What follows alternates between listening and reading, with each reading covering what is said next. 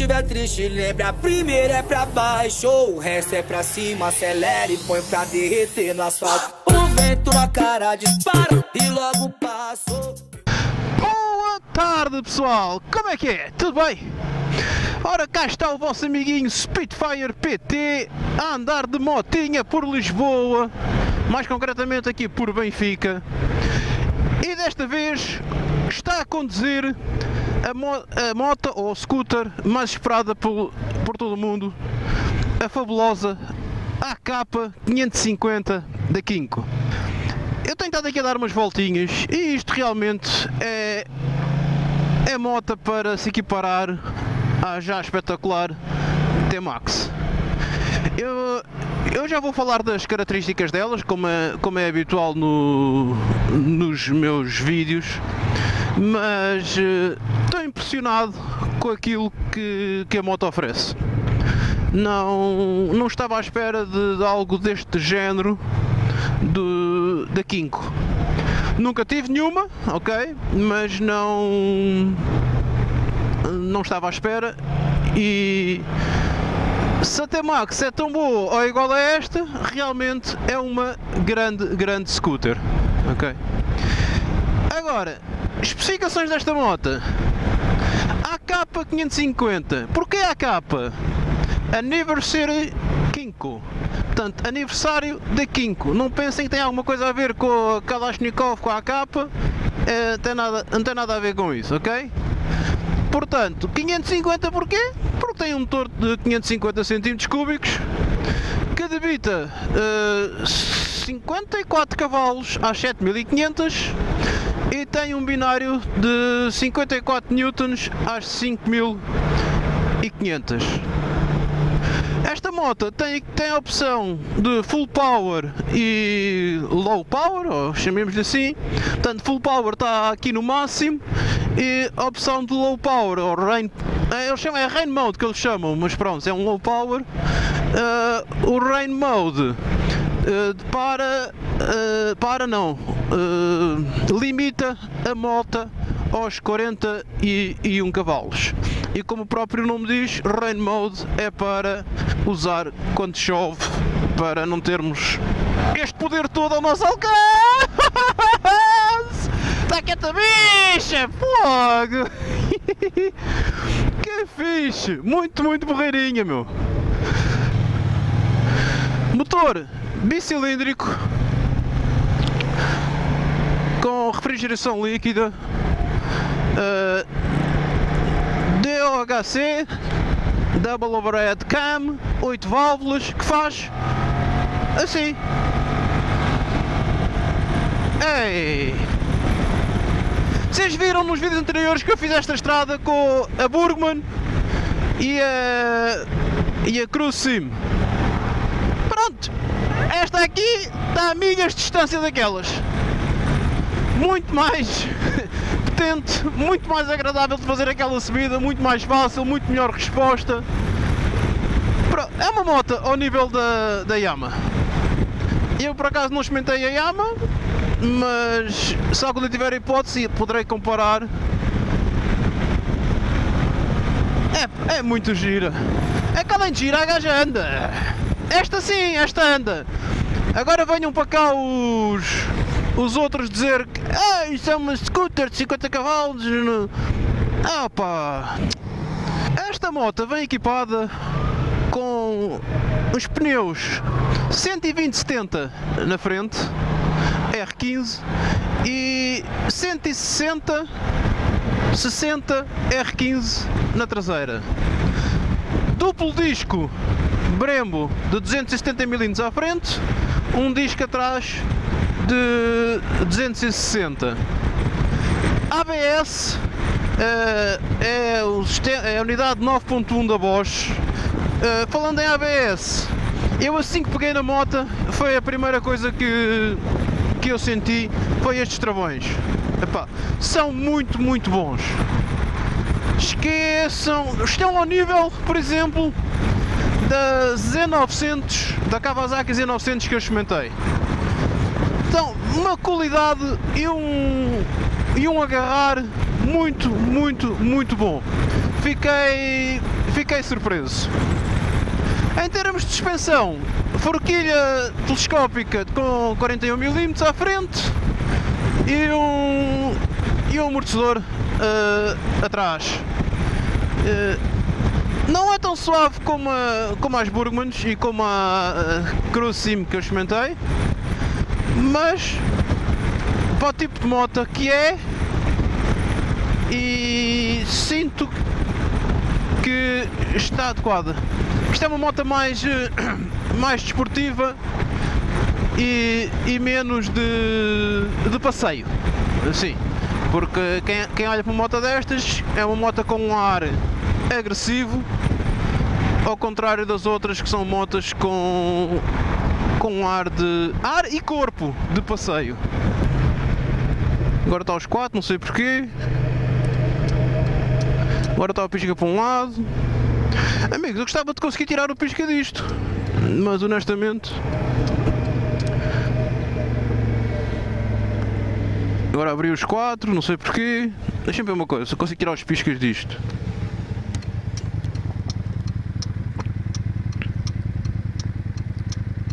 Ah, os quatro era porque estava ali ligado, já percebi.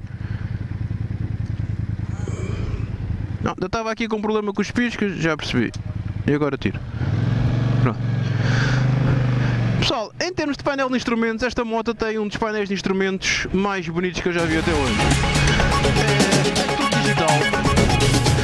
E, e é um bocadinho complexo, mas também não é assim do, do outro mundo.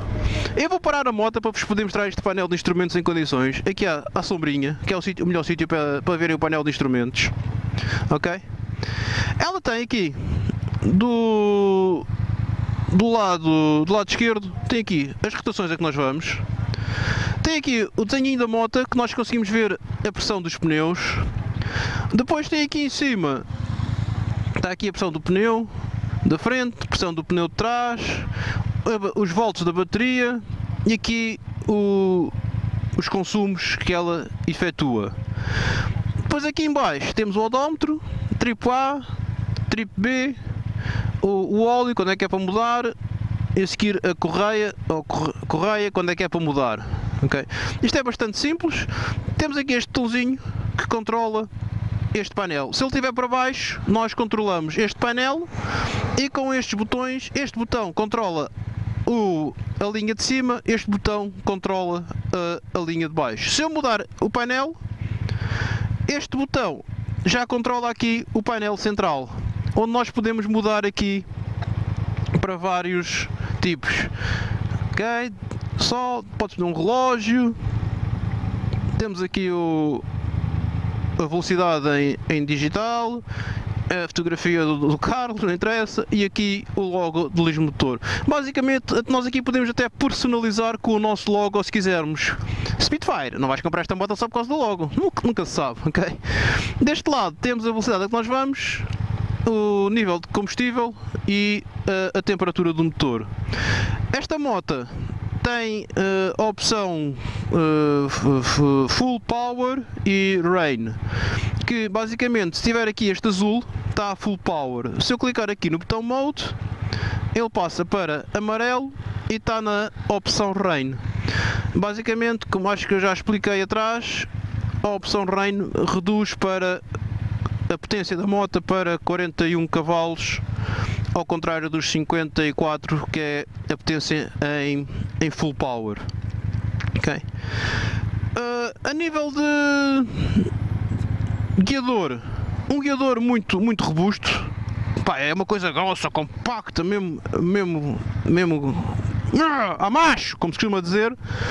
Temos aqui o botãozinho de sinal de luzes. Temos aqui os, os médios e os máximos. Temos aqui punhos aquecidos. Portanto, esta tem punhos aquecidos. Quando a gente fica carrega aqui, reparem, apareceu ali a indicação de punhos aquecidos. E ao mesmo tempo, não sei se dá para ver aqui, esta luzinha aqui acende indicando que os punhos estão aquecidos. Depois clicando uma vez dá o nível 1, nível 2, nível 3 e voltamos a clicar para desligar e a luzinha apagou também. Piscas, esquerda e direita e buzina. Ok? Aquele botão mode eu já vos expliquei que é o full power e o, e o rain mode que, que só pode ser acionado quando a moto está parada. Deste lado nós temos aqui o corta-corrente, temos o starter da moto, mas quando a moto já está a funcionar, se fizermos assim, é os quatro piscas. Okay. E há bocado andei aqui feito barata tonta, que tinha aqui piscas e tirava piscas e isto não desaparecia, até que depois olhei para aqui e sem querer deve ter feito assim e ele ligou os quatro piscas automaticamente. Portanto, a gente faz assim e desliga. Depois temos aqui os botõezinhos que servem para, que eu já vos mostrei há bocado, para controlar ou aqui este painel, se estiver assim para baixo nós controlamos este painel, se tiver este botão para cima nós controlamos o painel do meio com estes botõezinhos, vamos fazendo andar para a frente e para trás. Manetes têm regulação, ambas têm regulação e, e é muito bom. E tem aqui o botão de. o, o botão. Um botão ou manete de, de parque, ok? Para travar a moto, que é borreiro. Para ligar a moto, eu vou desligá-la. Está desligada. Okay? Ela funciona com uma coisinha que eu tenho no bolso, que é keyless, ok? Portanto você só tem que ter esta chavinha no bolso. Chegar aqui à moto, reparem, ela não consigo fazer nada. Mas eu como tenho a chave no bolso, carrego neste botão ele fica azul. E agora carreguei no botão, rodo para aqui e como é óbvio numa scooter temos de estar a carregar no, no, travão, no travão, pumba, já está. Hã? Para abrir o banco é carregar aqui neste botão e o banco abre automaticamente. Em termos de arrumos, temos aqui um espacinho para meter o telemóvel que tem uma tomada de, de 12 volts e do outro lado também temos um espacinho para meter o telemóvel. Nenhum dos dois tem, tem segurança. Eu vou baixar aqui isto e vou-vos mostrar o espaço do, do banco. Se eu ainda conseguir abrir o banco, que às vezes, um gajo que ainda não sabe, é que era? Assim? Não? Vamos ver. Eu tinha que ligar. Assim é para desligar. Não, então tenho que ligar. Colocar ali. E o banco abre. Como podem ver, o banco uh, é dá para um capacete. Hum, não é assim um banco do outro mundo. Luz de presença, amortecedor para manter cá em cima. Uh, a câmera é minha. Está feito. Para o depósito de gasolina. Acho que temos que fazer assim. E já está. Aqui. E abre aqui o bocal de gasolina. E depois há de ser só meter aqui a gasolina. Okay. Volta para ali. Volta a desligar. Banco bastante confortável. Ok bastante largo. Portanto, aqui não, aqui é mesmo um sofá, vão bem, vão bem confortáveis, sem problemas nenhums. O banco do pendura também parece ser bom. Não sei se será, não sei se será um bocadinho curto ou incomodativo. Deixa-me, vou experimentar, só para, só para ter assim uma. Pois, não sei. Como também não quero ir muitas vezes à pendura, capaz de ser um bocadinho curto, ela podia chegar um bocadinho mais para trás capaz de ser um bocadinho curto, que nós somos grandes, tanto eu como a minha mulher. Se fosse um bocadinho mais aqui, mas pronto. Mas isso provavelmente deve, estar a ver, deve ter a ver depois com os suportes de malas que eles devem inventar para esta moto que está que tá com, este, com este comprimento. Apoio dos pés, pronto, este aqui já é, posso ir com a perna encolhida ou posso esticar a perna, o que, o que é um plus. Este vidro ou protetor. Eu acho que ele é acho não tenho certeza que ele é regulável manualmente exatamente onde os parafusos mais ou menos o mesmo sistema da SIM desapertas apertas e, e sobe mais um bocadinho.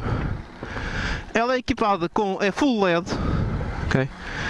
Esta moto é full LED portanto Uh, em termos de iluminação deve ser boa. Não vos posso dizer que eu ando, ando de dia com ela e é uma moto muito fixe de, de se andar. Vá, agora já falei daqui dela, vou ligá-la outra vez. Se me lembrar como é que se liga. tan, tan, tan. Ora, botão azul, colocas ali e é exatamente, já está.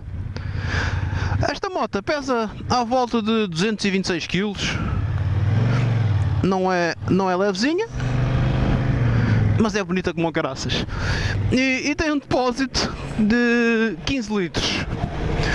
Uh, pelo, pelas médias que eu já vi que, que, o pessoal anda a testar e ela anda ali, ela está a fazer à volta de 4 litros. Portanto, 4, 8, 12, 300, quase 400 km com este bicho. Ei, agora, olha, vejam.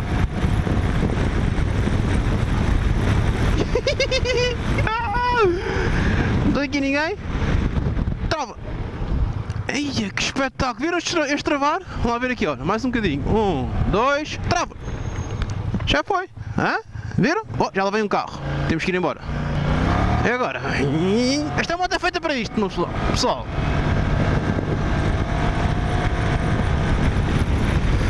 Proteção aerodinâmica. É boa. Novamente estou surpreendido com a proteção aerodinâmica da mesma, mas eu tenho a impressão que mudaria para a posição uh, acima. Aqui está na posição abaixo, e, mas porque eu estou a ver aqui o ventinho, exatamente, eu mudaria para a posição acima, mas não me posso queixar. Uh, vai-se muito bem aqui na moto, vai-se porreiro.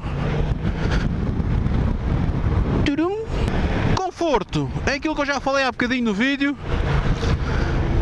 É, não é uma Burgman, mas, mas é confortável. Faltava-lhe aqui, para mim, falta-lhe aqui um, uma alturazinha maior entre, na diferença entre o banco do pendura e o banco do, do condutor, só para dar mais algum um apoiozinho extra aqui na nas costas. Mas eh, não tenho nada de fora, estou completamente sentado dentro da moto. O, o banco está a uma altura de 700 e 770 ou 780 milímetros, o que é o normal dentro destas motos. E esta tem a particularidade que eu acho que para o pessoal mais pequenino é capaz de causar uh, algum problemazinho porque a zona final aqui é, é larga, ok? como ela é larga, é capaz. Porque eu já sou crescido, eu sou crescido, não, sou crescido há só muitos anos. Eu já sou grande e reparem que eu, que nas outras motas eu consigo, conseguia chegar com os pés com ela parada ao chão. Eu aqui não consigo chegar com os pés 100% ao chão.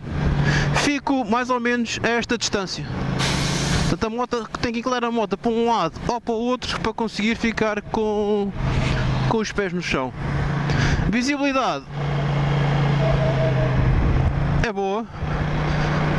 Tem mais de metade do espelho, uh, o, que é, o que é bom.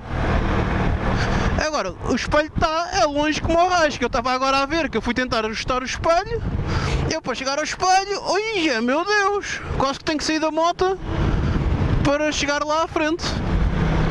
Imaginem que vocês batem por acaso, batem num carro e o espelho sai do sítio, vocês têm que chegar todos à frente, chegar, ajustar o espelho, e depois chegar todo para trás, para verificar se está bem, depois não ficou bem, voltam a chegar-se à frente.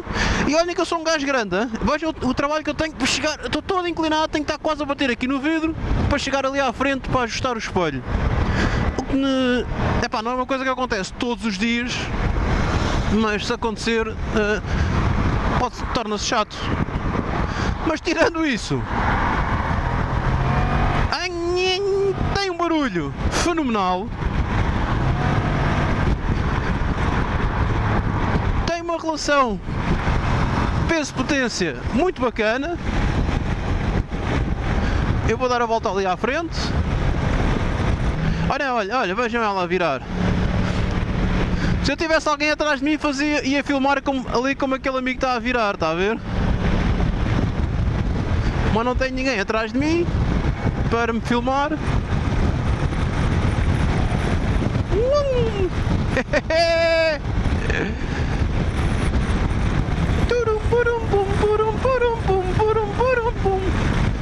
Eia, fogo! Que poder de aceleração que isto tem! Agora percebo porque é que o pessoal está, está todo à espera desta moto. Só agora percebo porque nunca andei na T-Max. Se eu tivesse andado na T-Max mais cedo já tinha percebido porque é que o pessoal estava à espera de, desta moto. Mas agora que andei nesta já percebo porque é que o pessoal da T-Max gosta da T-Max e porque é que o pessoal que não tem a T-Max está à espera desta para comprar esta em vez da T-Max porque isto vai ser basicamente ela por ela e o que vos irá diferenciar há de ser o visual mais moderno desta moto, que é, eu acho que é mais bonita que, que a T-Max e possivelmente o preço. E agora pessoal, eu vou entregar a moto com estas, estas acelerações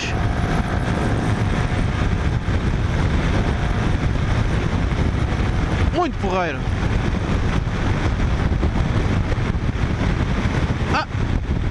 Amigos, eu ia ali marcado 160 e nem dei por ela. Ok.